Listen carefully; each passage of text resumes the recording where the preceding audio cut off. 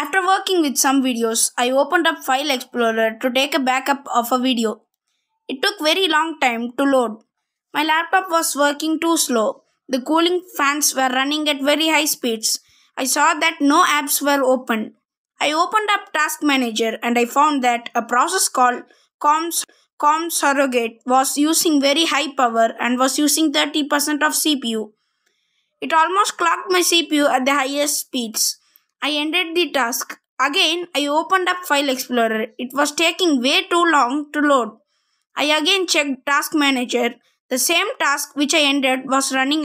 I searched online to find solutions for this problem. I found that this could be caused due to creation of thumbnail of a video by Windows. I checked the recent video which I recorded and I found that no thumbnail was generated for the video. I quickly deleted the video. It immediately solved the problem. Hope this video helped you. Thanks for watching.